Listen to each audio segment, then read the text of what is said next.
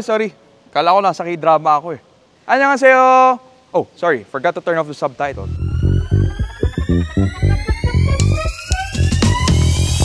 Hi guys! Jamil here from Auto Industria and this is the 2023 Hyundai Tucson.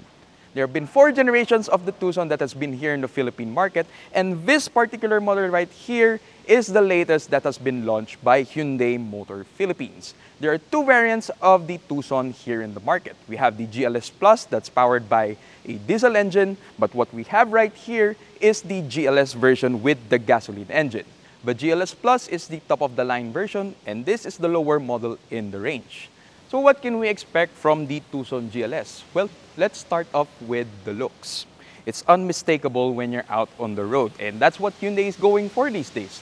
We've seen it with the Creta the Stargazer, the Staria. They, also, they all have very distinct front ends. So once a Tucson is following you out on the road, you'll immediately identify one. We have this parametric grille right here and when it's turned off, you'll actually see it looks like this is part of the grill, but it's actually your daytime running lamps, as well as the repeaters right in this point. This is a full LED lighting affair, even in the GLS variant, as you also have LED on the headlights itself. Moving over to the side, you'll notice that Hyundai was also aggressively designing the Hyundai Tucson in this area. See, you have defined character lines, these creases right here, as well as the geometric shapes here at the side.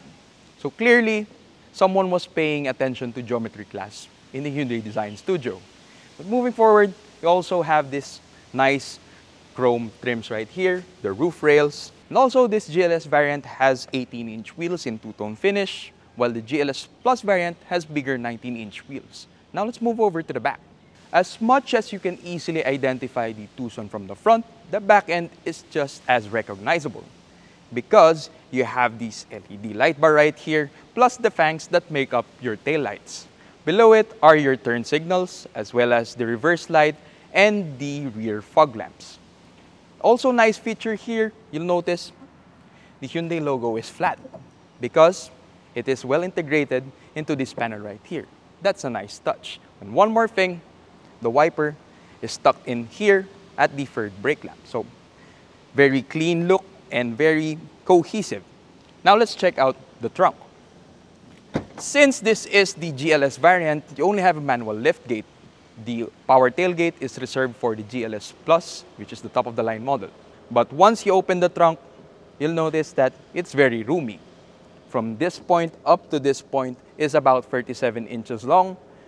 This is about 40 inches wide, and the cargo height is about 28 inches. We also have this tonneau cover right here, so in case you don't want people to peek inside the vehicle and protect your precious belongings, this is very useful.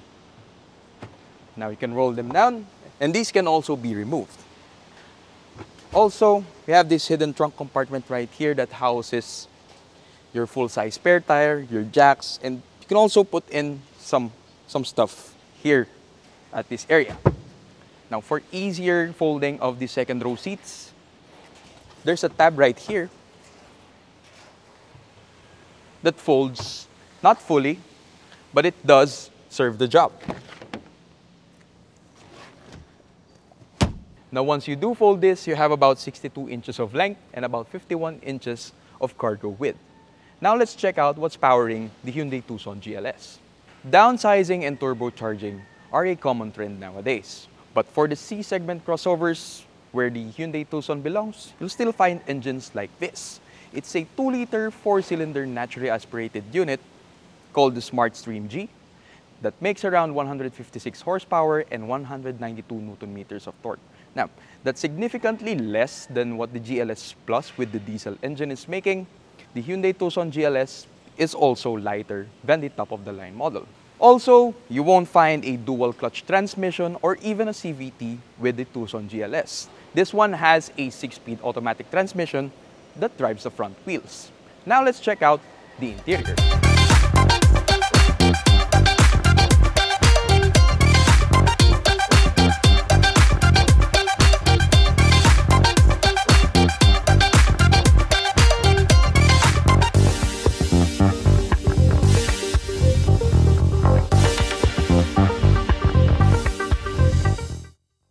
Manufacturers would actually employ a similar dashboard design to their almost their entire model range. But with Hyundai, they're doing it very different.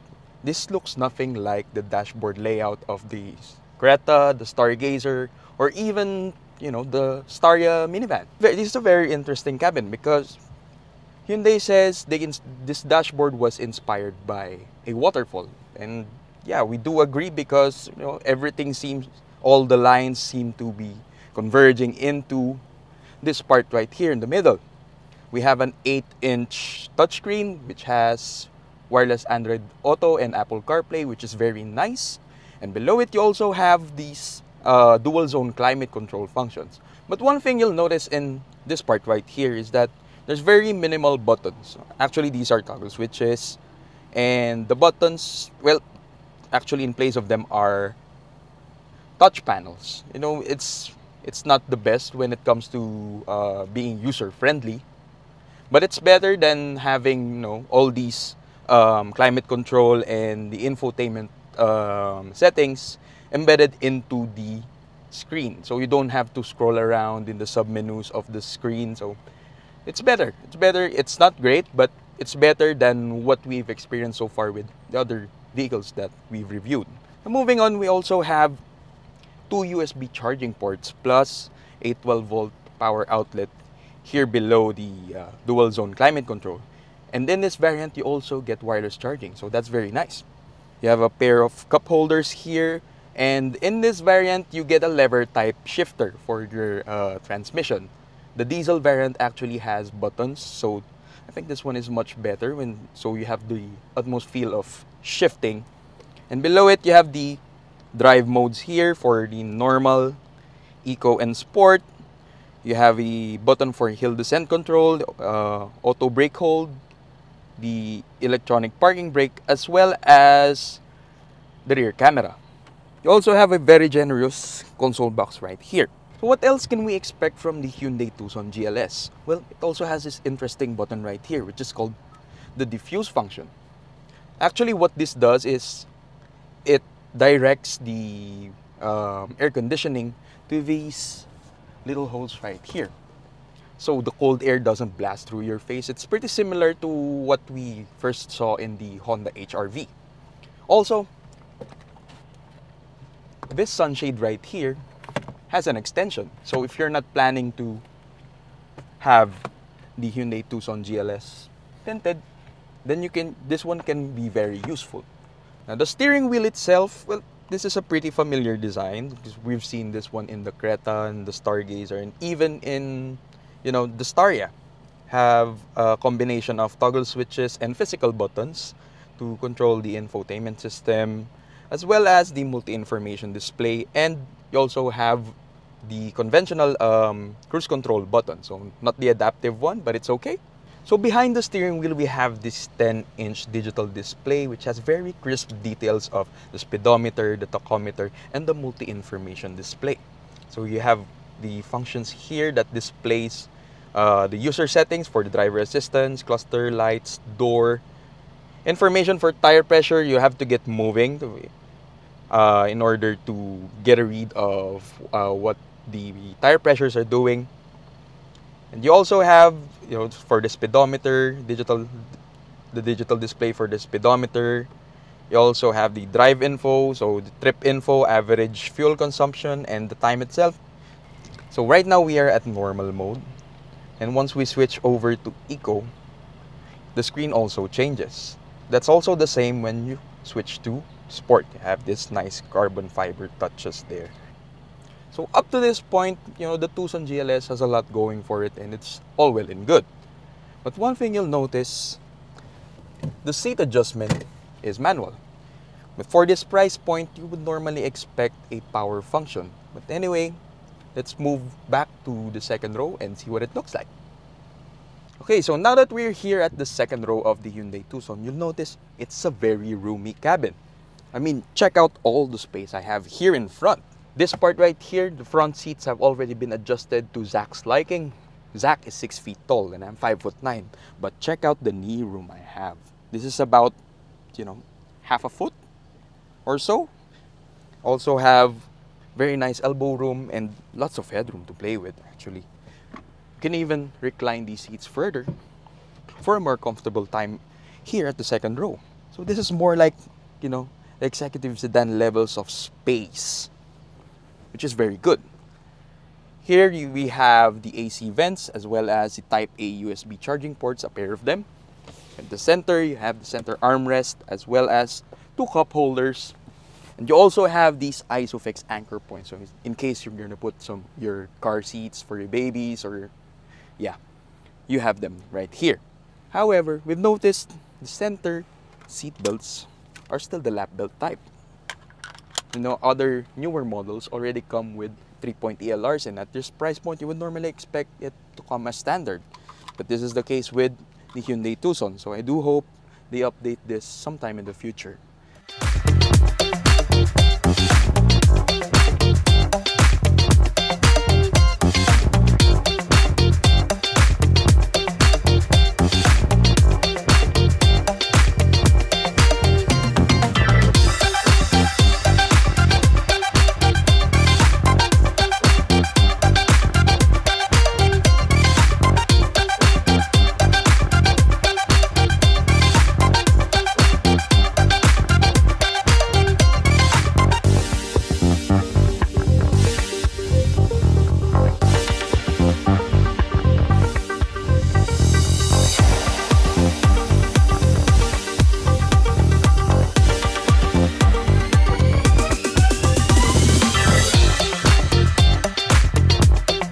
Driving impressions of the Hyundai Tucson GLS.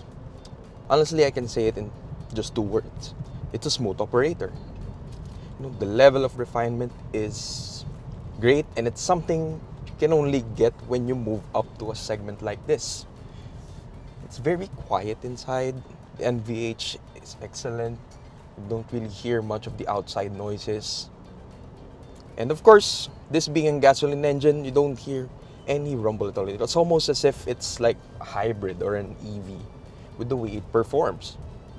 The 2 liter engine plus the 6 speed automatic, it's a nice combination. You know, it's not gonna give you any rush when it comes to acceleration, or it's not gonna excite you that much when you mash the throttle, but it has its power. Though you though you have to keep it in mind that this one has a naturally aspirated engine. So to access the power band, you're gonna have to, you know, rev it up a bit higher. So that means putting your foot a bit further down. And really, when it comes to riding comfort, you know, I have to say this is one of the best in its class. It's really soaking up the bumps over here at EDSA very well. It's comfort oriented, so handling won't be its best suit. So if handling is what you're looking for, then you might be better off uh, on another vehicle. But with that being said, you know, being comfort oriented, the Tucson is still solid. It doesn't wobble around, so it, so it's so it still feels nice and planted. But you do have to expect a bit of body roll once you do start turning at speeds. But when you're just cruising along, the Tucson is in its element. Keep in mind it's a gasoline engine and I'm doing around 60 kilometers per hour at EDSA right now, but it keeps the RPMs just below, just above rather, 1,500 RPM. And even on the expressways, you know, the powertrain combination can also give nice fuel efficiency numbers because I was doing 100 kilometers per hour on the expressways and apparently the Tucson's engine is only doing around 2000 RPM. Let's talk about the numbers. In the city, well, I've been averaging 7 kilometers per liter, which is not so good but not so bad either. But in the highway, that stretches out to 16 kilometers per liter. So that's already good, especially considering you have a large displacement gasoline engine that's normally, you know, being associated with being a gas guzzler. Now, while the Tucson has a lot of nice things going for it when it comes to the driving itself, you do miss a bit of the advanced driving assist systems that we get nowadays from even even vehicles in the lower segments like B segment for example Hyundai can offer you know the smart sense systems on the Creta and the Stargazer, and that's what I found missing here in the Tucson. It doesn't have blind spot monitoring, it doesn't have forward collision warning, rear cross traffic alert, that sort of stuff, and even the adaptive cruise control. So that's something I'd like to see with the Tucson going forward when they eventually you know, introduce some updates to this vehicle. But if you don't really see those as a necessity, then this one is pretty solid. So what about the price? Well, that's something we'll talk about once we go back to the warehouse.